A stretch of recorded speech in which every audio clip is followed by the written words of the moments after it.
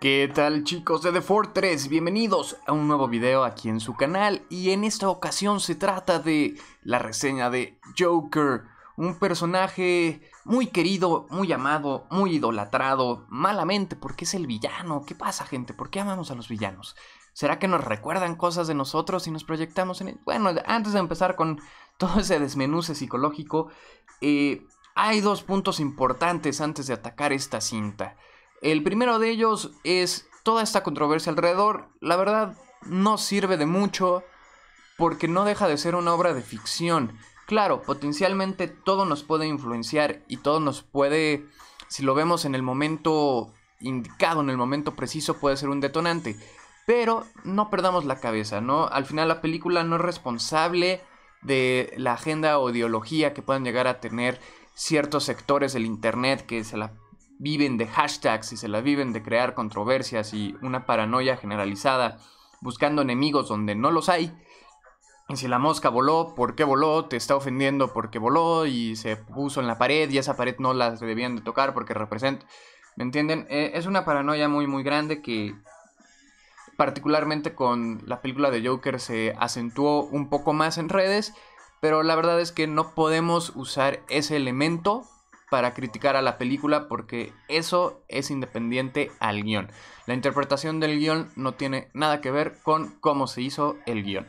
Y el segundo elemento que no vamos a ocupar y que vamos a pasar por alto es también la crítica eh, favorable. ¿Por qué? Porque te puede crear una falsa percepción o te puede generar expectativas un tanto irreales respecto a qué vas a ver. Me queda claro que en gusto se rompen géneros y en peleas se rompen madres, pero endiosar una película, ponerla en un pedestal y decir que es lo mejor que se ha hecho posiblemente en 15 años y potencialmente la mejor película con un personaje nacido en las historietas, pues es atrevido, no voy a contradecir a nadie, pero creo que también muchas veces nos gana el hype y nos gana la emoción. A todos yo también he pasado por eso y no no me voy a retractar de cualquier otra reseña que haya hecho antes. Bueno, quizás la de Batman contra Superman. Debí haber sido más, más severo con ella. Pero eh, la realidad es que no te va a cambiar la vida. No, no vas a salir con una revelación eh, o vas a... o algo va a cambiar en tu entorno por haber visto Joker. O sea, sí es una buena película, pero no es la segunda venida del Mesías, no va, no va a pasar nada realmente. Si no la ven, no les gusta, les aburrió, está bien. ¿Saben? O sea, no, no se sientan culpables o no dejen que los hagan sentir mal por no subirse a este tren de que Joker es Dios en forma de película. Una vez dicho eso, un poco más de contexto es, esto ya existía.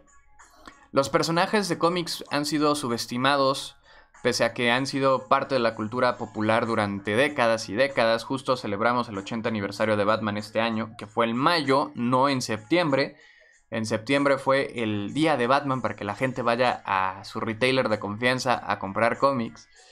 Y el cumpleaños de Batman fue en mayo, no fue en septiembre. Pero bueno, medios especializados, ¿verdad? Eh, y sí, me queda claro. Quizás 8 de cada 10 historietas van a ser entretenimiento fácil, entretenimiento digerible, eh, mucho luz, mucho color, paneles eh, muy dinámicos de peleas, pero esos dos que quedan, ese 20% que queda ahí, va a ser un ensayo muy introspectivo. Y también, dependiendo del autor, podemos tener diferente tipo de historietas. Eh, esto sin entrar a los indies, porque es muy complicado. Me encantaría tener el tiempo y el dinero. Y sé que muchos quizás no son tan caros, porque los hacen a través de campañas y puedes donar en Kickstarter y te mandan tu copia. Eh, hay muchas formas de acercarse a los indies, pero la verdad es que son tantos y gracias a la forma de poderte autopublicar hoy en día, pues ha incrementado el volumen. Los admiro, los respeto y sé que hacen un trabajo mucho mejor y más eh, con más cariño que varias de las editoriales grandes con presupuesto. Pero la verdad es que sí cuesta trabajo este poder empaparse todo el mundo del cómic independiente, pero existe. Si lo quieren, existe. Y créanme que van a ser historias que valen la pena. Eh, pero aún así, en el mainstream, tanto en DC, Marvel, Image, IDW, Boom, también hay buenos exponentes. Eh, Alan Moore, Neil Gaiman, Grant Morrison, Frank Miller en los 80, antes de que escribiera Holy Terror o escribiera All Star Batman, que sí son terribles a más no poder, pero este han existido estas piezas, ¿no? Eh, Killing Joke fue el origen definitivo del Guasón durante mucho tiempo. No era la intención del señor Moore, pero bueno, así lo tomó, los fans lo aprecian. Él no le gusta tanto Killing Joke, pero bueno, Alan Moore no le gusta nada. Entonces es complicado tomar su palabra. Pese a que él sea el autor y sea de los mejores, eh, sí, sí vive en otra realidad. La verdad es que creo que vive en su propio mundo. Pero el punto es que ya se había trabajado, ya se han hecho estos acercamientos. Y creo que esta película ejemplifica justamente esa parte, esa parte de los personajes que quizás un público masivo no estaba tan familiarizado porque nada más lo habían visto en películas, nada más lo habían visto en series. Eh, que por ejemplo el capítulo de Matt Love de la serie animada de Paul Dini y Bruce Timm. Vemos también este clavado un poco más a la psicología de Harley Quinn, pero también vemos un poco la psicología de, Joker respecto a su relación con Harley, cómo manipula y cómo tiene todas estas cuestiones psicológicas a su alrededor, ¿no?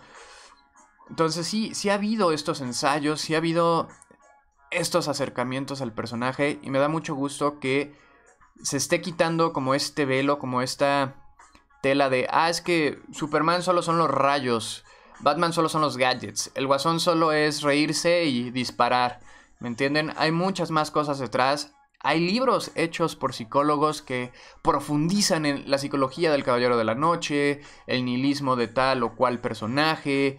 Eh, ¿Me entienden? O sea, hay mucho que analizar a través de las historias. De nuevo, me queda claro, no el 100% de los cómics operan así, pero sí existen. Entonces, no, no sorpresivo, no es algo salido de la nada que esta película esté haciendo esto. Pero es muy bueno que nos enfoquemos en esto, ¿no? Sobre todo porque los cómics tienen una manera muy particular de operar. Te puedes enamorar y, clavar así, de es que esta es la versión del personaje, amarlo, vivirlo, comprar cada uno de los eh, cómics individuales que salgan, pero en un par de años la editorial dice, gracias, va a tener un nuevo escritor, va a tener un nuevo artista y bam, ya te cambiaron al personaje. Puede que te sientas traicionado, más allá del coleccionismo de que pueden reiniciar el número o no pueden reiniciar los números, va a cambiar. Básicamente es el mismo personaje, es el mismo universo, pero ya es un nuevo escritor, entonces la forma de, de presentar al personaje va a ser diferente. La forma de verlo va a ser diferente porque rediseñan el traje, el nuevo artista inclusive tiene otro estilo. Entonces ya es algo común ver a nuestros personajes mutar, a nuestros personajes evolucionar, cambiar, reinventarse frecuentemente. Ah, y no solo en las crisis, sino también de arco a arco pueden pasar muchas cosas. Entonces no, no lo siento como algo totalmente ajeno a las historietas, definitivamente no tiene las suficientes conexiones como para ser precuela de cualquier Batman en ciertos puntos. Pero a la vez también se requeriría un Batman muy específico para que encaje en este universo por eh, las condiciones que presenta. Pero de nuevo, es parte de la naturaleza misma de las historietas, es parte de la naturaleza misma del personaje, sobre todo con esta situación que finalizar los nuevos 52 de DC pues eh, nos dijeron que existen tres Jokers simultáneos. Todavía no hacen esa historia, se han estado ocupando más en otras cosas. Se ocuparon con Dark Knight Metal, todavía no terminan Doomsday Clock, eh, vino Heroes in Crisis. O sea, como que DC empezó a escribir mil historias antes de aclarar bien lo de los tres Jokers. Pero, de nuevo, es parte de la naturaleza del personaje, ¿no? Es parte de cómo el entretenimiento tiene que ir madurando y tiene que ir cambiando. Y ahí lo tienen con James Bond. ¿Ya cuántos llevamos? Creo que son 6, 7 actores. A ver, eh, Sean Connery, George Lanceby, Roger Moore, Timothy Dalton, eh, Pierce Brosnan y Daniel Craig. Son 6. Eh, pero ya viene el séptimo. Entonces, seis actores interpretando al personaje en diferentes décadas, eh, en diferentes décadas, en diferentes etapas, sin que haya una sola continuidad y todas han tenido lo suyo, todas han sido disfrutables en mayor o menor medida, pero al final de cuentas ilustra muy bien cómo se puede profundizar en el personaje a ratos, cómo se puede hacer algo más basado en la comedia, algo más basado en la exageración de una acción fantasiosa. O sea, se pueden hacer muchas cosas con un personaje sin que pase gran cosa, ¿me entienden? Entonces, este es otro Joker más, otra interpretación más, una más centrada en la realidad. No hay piscina de químicos, no hay eh, toxina del guasón, no hay como los lados más fantasiosos de él, ¿no? Se queda más como lo crudo, lo que se llamaría una desconstrucción, que es llevar al personaje a sus rasgos más básicos, básicamente dejarlo con sus instintos en una forma un tanto primitiva de cómo reacciona, como si fuera un nervio expuesto y todo le va a afectar eh, mucho más grande. Es una buena película para analizar la psicología y lo peligroso que pueden llegar a ser las enfermedades mentales y lo poco que a la sociedad le importa, porque inclusive hoy en día vivimos acelerados, tenemos que correr al trabajo, tenemos que correr a la escuela, tenemos que usar transporte público y la gente del metro a veces es muy imprudente y se quedan en la puerta, no puedes salir, no puedes entrar, tú voy a llegar tarde y, y vivimos en una psicosis muy acelerada todo, todo, todo el tiempo. Entonces, ignoramos mucho qué pasa en la mente de la persona que está a nuestro lado. Quizás está teniendo un mal día, que ese siempre ha sido como la tesis del guasón, sobre todo gracias a Alan Moore con Killing Joke, que la única diferencia entre él y cualquier otra persona, o sea, entre el guasón y cualquier otra persona, es este, que él tuvo un mal día. Y su punto en Killing Joke es hacer que Gordon enloquezca al mismo nivel que él, torturando, torturándolo y disparándole a Bárbara, dejándola inválida. Y aquí lo vemos, inclusive aquí también aplica la de ha sido una semana muy difícil. Entonces no solo fue un día, fue una semana. Y si con un solo día te puedes deschavetar, ahora imagínate con una semana. Y también Hitler lo retoma bastante cuando le dice a Batman que la locura es como la gravedad. Lo único que necesita es un pequeño empujón. Y aquí va a haber detonantes a lo largo de la trama que lo impulsan hacia ese lado tremendamente oscuro, donde es una cuestión casi de venganza o de invertir roles para retomar el control de su vida. Y en lugar de ser él ah, la figura que deshumanizan con sus malos tratos, haciéndolo menos, eh, ignorando su existencia, él deshumaniza al resto de Gótica, ¿no? Es como una inversión de roles bastante particular y estoy seguro que los que han estudiado psicología van a encontrar muchos más matices en la actuación que está perfectamente bien lograda. Ahí no se puede decir nada que no se haya dicho antes. Joaquín Phoenix es brutal. Eh, yo tuve una obsesión con Gladiador muy fuerte en los 2000 y empecé a estudiar latín y me metía a... Me clavé demasiado con Roma en general. Este... Y Gladiador pues era como el blockbuster romano del momento. Pero desde ahí ves cómo Joaquín Phoenix sabe vivir los personajes y cómo su personalidad cuando lo ves en entrevistas es un poco introvertida. Pero cuando lo ves actuar cambia radicalmente y pasar de en mi mente sé que ha hecho más películas, definitivamente ha hecho más y tiene la terrible señales, pero sí me queda muy grabado sus escenas de cómodo esta confianza, esta presunción de que es el ser más poderoso sobre la tierra porque es el César romano y sabe que tiene poder absoluto y tiene esta aura de, pues, a falta de mejor término, de mamonés. O sea, literal lo ves acá de, pues, íncate. Estás ante la presencia de un ser divino, íncate. Y aquí, como Arthur Fleck, lo ves tan pequeño, encorvado, delgado, que llega hasta ratos a ser incómodo y si quieres aventarle una, un sándwich a la pantalla. De come por favor, hijo, estás en los huesos. Y dices, madre santa, ¿no? Eso está, eso está, está bárbaro. También por eso platicábamos en la semana en una transmisión en vivo respecto a si verla doblada o subtitulada. Y estos son los pequeños detalles. Créanme que, y ustedes lo saben, tengo mucha gente que adora un doblaje es una labor padre, es una labor muy, muy divertida de hacer. Pero la actuación no solo va acompañada de la voz, la actuación son muchas cosas. Y quieras o no, cuando cambias un actor, estás cambiando algo de la actuación.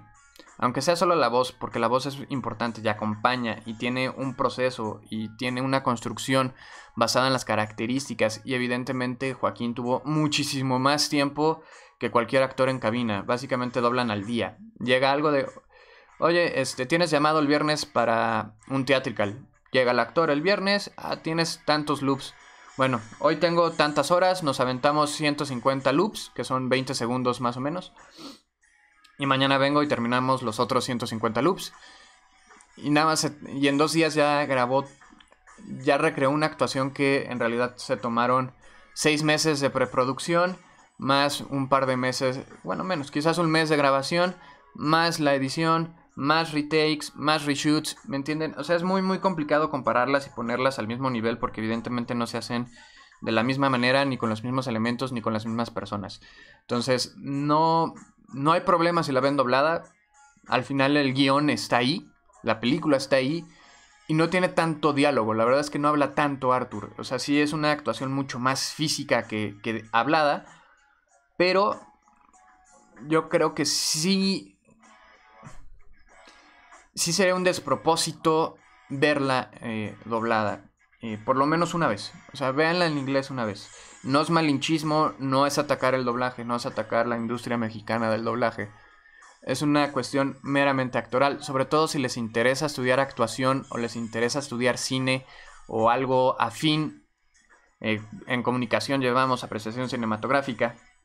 Tienen que verla así. La verdad es que sí tienen que ver la actuación completa al 100% de Joaquín Phoenix porque está llena de matices, desde los pequeños gestos, desde arquear la ceja, desde hacer una mueca, desde encorvarse, estirarse, los pasos de baile, eh, qué tipo de baile hace, en qué tipo de escena, porque también va evolucionando su baile de principio a fin. Al principio es como muy rígido y muy encerrado en espacios muy cerrados y al final ya es en un espacio muy abierto, que es esta escena del tráiler que inclusive han usado para muchos de los pósters de la cinta donde ya lo vemos más abierto, más extendido. Y a ratos hasta se parece al dibujo del guasón, precisamente por lo delgado y lo enlorgado. Se ve como... No llega a ser Slenderman, pero sí se ve como esta cuestión de brazos muy delgados, muy alargados. Estéticamente es raro de contemplar porque quieres detenerlo. O sea, subconscientemente sabes hacia dónde se eh, está yendo, sabes en qué va a acabar, sabes que se va a convertir en un genocida maníaco. Pero hay tantos momentos en la película donde puedes detener a Arthur antes de que se convierta en el guasón que sí te, eh, te genera una genuina sensación de tensión. Porque si alguien se hubiera detenido a escucharlo, ¿cuántas cosas se hubieran evitado? Y eso te hace pensar también en ¿Cuántas peleas no han pasado de se te cerró un vato en la calle? Se bajó el otro carnal enojado, les, ¿por qué te me metiste? El otro güey traía una pistola en la guantera. Si a mí no me vas a hablar así, perro, y pum, le mete el plomazo. No creo que ese día ese carnal se haya parado. Hoy voy a matar a alguien porque suena divertido. O sea, a veces son estos pequeños eh, momentos donde se pierde el juicio totalmente. Y quizás también por eso es que esta película está siendo recibida de la forma en la que lo está haciendo porque sí te, te mueve muchas cosas por dentro y te hace pensar en muchas cosas y te hace contemplar de una manera muy directa lo peligroso de las emociones humanas. O sea, te pone en un... O sea, no humaniza al guasón en el punto de que, ah, pobrecito, ya todo está justificado, porque al final no, no está justificado. Eh, no es una apología, no es este endiosar la figura de un asesino, ¿no? Es, ah, ahora todos vístanse de, bueno, de rojo, no de púrpura, y vístanse de, de, payasos y salgan a la calle, porque también hay, hay unos detallitos que serían spoilers, no se los voy a decir, pero sí es una película bien hecha, bien construida, con un mensaje muy claro respecto a lo que quiere hacer y que no necesariamente tiene que estorbar a posibles eh, construcciones ya más DC. Es decir, no tienes que ver lo que piensa el Joker cada escena. Perfectamente este Joker puede pelear contra un Batman. Porque ya sabemos de dónde viene este Joker. Ya no es necesario recordarnos por qué pasó para llegar a ser. Ya es. Entonces, no, no, no veo problema alguno con que esta película pueda integrarse a las otras de DC, pero bueno, eso ya lo decidirán los ejecutivos y Joaquín en segunda medida si quiere aceptar más tiempo, porque no le gustan las franquicias, no le gusta eh, limitarse como actor y le gusta tener como la carta abierta. De hecho, rechazó ser Doctor Strange precisamente porque no quería hacer más de una película. Pero se puede, ¿eh? no, tampoco está tan despegado de, lo que podría ser una película de Batman. Eh, sobre todo porque lo interesante sería ver cómo reacciona a, a Batman, a la psicosis, porque es una psicosis escalada de las tensiones sociales que ya estaban en Gótica, las que él añade, las que él crea, que es un poco ambiguo porque también usa una técnica visual y una técnica narrativa donde no puedes confiar en la película en sí. Seguramente posteriormente en entrevistas y cuando salga el Blu-ray va a haber declaraciones y entrevistas, pero sí tiene ciertas partes donde te dan las pistas necesarias para que puedas decidir qué sí y qué no pero al final te cambia un poco las reglas del juego, entonces ya no estás tan seguro si sí o si no, pero vale la pena. La verdad es que vale la pena. No les voy a decir eh, como miles otros que traen el hype al 100, los entiendo, estoy de acuerdo con ellos en muchas cosas, pero tampoco se las quiero sobrevender, porque cada quien tiene que descubrir la película por sí mismos y cada quien tiene que abstraer lo que pueda de la cinta. Eh, los dos podemos sentarnos a verla, a verla y vamos a tener opiniones diferentes, vamos a tener puntos en común seguramente, pero vamos a sentir cosas diferentes. Eh, por ejemplo, Good Dinosaur me encanta por eh, toda la relación que hay entre el papá brontosaurio y el hijo brontosaurio, pero para muchos es de las peores de Disney Pixar. Entonces, entiendo por qué, entiendo de dónde vienen, pero yo lo que abstraje de esa cinta es esto, ¿no? Es igual como nos pasó con Coco los mexicanos nos pegó un poco más porque está, reconocíamos muchos elementos y tenemos esta figura matriarcal de la abuela, que la abuela pues era la jefa de la familia y cargó con muchas familias mexicanas. Entonces Coco nos pega a un nivel que quizás a un español, a un holandés no le va a afectar tanto. Entonces sí, váyanla a ver. O sea, tampoco esperen eh, ver... Eh, eh o sea, sí hay balazos, pues, pero me refiero a... No esperen ver secuencias de acción tipo Dark Knight Rises o algo así porque no lo van a encontrar.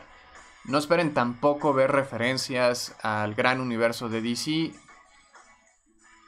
Vayan a ver pensando que es un ensayo sobre la fragilidad mental de una persona y a qué extremos puede llegar. Y si vayan mentalizados a que va a tener partes lentas, a que va a tener esta cocción que toma su tiempo para que el payoff sea bastante eh, redituable. Y así como existen este tipo de películas, existen otras. Entonces también está bien emocionarse por Endgame. Endgame sigue teniendo una escena magistral, una escena icónica, pero en un tono diferente, ¿sabes? Y está bien. O sea, así somos nosotros, así somos los humanos, somos las personas. Un día podemos reírnos el otro día podemos estar tristes y un día queremos salir a echar la fiesta y otro día nos queremos quedar en casa. Eh, a veces podemos hablar con nuestros amigos de cosas muy serias y otras veces solo nos estamos riendo en la borrachera, ¿no? O sea, no, no pasa nada, pueden coexistir ambas. Puede existir Endgame con 40 personajes de cómics en pantalla peleando contra un tirano espacial y puede existir Joker. O sea, no pasa nada, no se excluye una de la otra. Y tampoco es una competencia. Al final se trata de, si la película te dio algo, te movió una emoción y te hizo pasar esas dos horas o lo que dure totalmente metido en esa sala de cine con todos los sentidos alerta para percibir todo lo que la película te está dando, ya están del otro lado. Y ya no importa si es buena, si es mala, si es mejor, si es aquello. Te dio algo. Emocionalmente esa película te influyó de alguna forma. Quédate con eso. Lo más objetivo que les puedo decir, técnica cinematográfica muy bien realizada. Técnica de actuación perfectamente realizada. Técnica de banda sonora, de sonorización muy bien llevada, la música es hermosa y hace esta combinación entre lo auditivo y lo visual y el metatexto. Es, es buena película. Uh, o sea, enteramente hablando de película, película, es muy buena película. Como adaptación de cómic, es una muy buena novela gráfica. O sea, sí me imagino esto como una. como. Me recordó mucho a la novela Luthor de Brian Azarello. Porque precisamente es un ensayo de cómo Luthor percibe a Superman y clavarte más en la mente del villano. También Azarello hizo una de Joker, pero ahí se fue más por el lado gore y un poco más por... casi toda la historia es la perspectiva de uno de los que trabaja, uno de los achichincles de, de Joker y no necesariamente el Joker es el... el Joker. Y no necesariamente el amigo Bromas es este, la figura central, pese a que la novela gráfica se llame como él.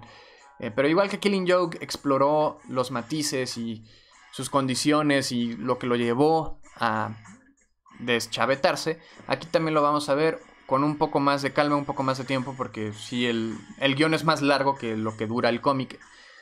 Pero vale la pena, realmente vale la pena. Véanla, disfruten. Bueno, es que es un disfrute raro, ¿no? Es como cuando vas a la montaña rusa. El disfrute lo obtienes de la adrenalina y no de que sea una actividad placentera per se. Pero sí se puede disfrutar, pero no es una película a la que te vayas a reír. De hecho, la gente se ríe en momentos raros. Pero creo que también ejemplifica cómo a veces necesitas la risa para romper la tensión de, de la vida en sí. Vaya, ¿no? Sí se pone muy... Es que sí hay tanto que hablar psicológicamente de esta película. O sea, es un logro, es algo que ayuda a este tipo de películas, sobre todo a raíz de los comentarios recientes de Martin Scorsese. Pero de nuevo, no dejen que nadie les quite el disfrute de sus cintas. Si les gustó, dénsela. No pasa absolutamente nada. Pero si vayan a ver, eh, dejen su comentario, qué les pareció, qué percibieron ustedes. Eh, va a haber más contenido, eh, por supuesto que vamos a poder hablar con spoilers en el siguiente video donde sí ya vamos a poder hablar de situaciones específicas de la película y todo lo demás, pero por lo pronto todo este rambling, toda esta charla, toda esta plática que creo que sirve a manera de podcast y es simplemente para decirles, véanla, eh, esto es lo que los cómics pueden llegar a ser, lo que ya han hecho en contadas ocasiones, pero finalmente el público masivo se está dando cuenta que estos personajes son más que los elementos superficiales. También hay mucha psicología detrás de ellos. También hay que ser quizás selectivo y aprender a discriminar qué historias sí funcionan y qué historias no funcionan y entender el género, entender el contexto y entender los productos de manera individual. No, le, no puedes quejarte de que una manzana no sepa naranja. O sea, no se puede. Y aquí no puedes este, pensar que esto es una película como eh, Justice League, que es una película como Man of Steel. Pero creo que es a lo que, a lo que aspiraba Man of Steel metiéndose con la psicología de su personaje principal. Pero aquí pues, está muy bien llevado, muy bien logrado, magníficamente actuado, magníficamente fotografiado y magníficamente encuadrado. La edición sí está rara, pero es a propósito, es por diseño, porque tienes que... Básicamente estás viendo la locura de Arthur, entonces también la edición ayuda un poco a ese efecto. Sobre todo ahí con ciertos elementos en pantalla que conforme avanzan las escenas van cambiando. Pero ya la verán. Cuídense, nos vemos pronto aquí en The Fortress. Bye bye.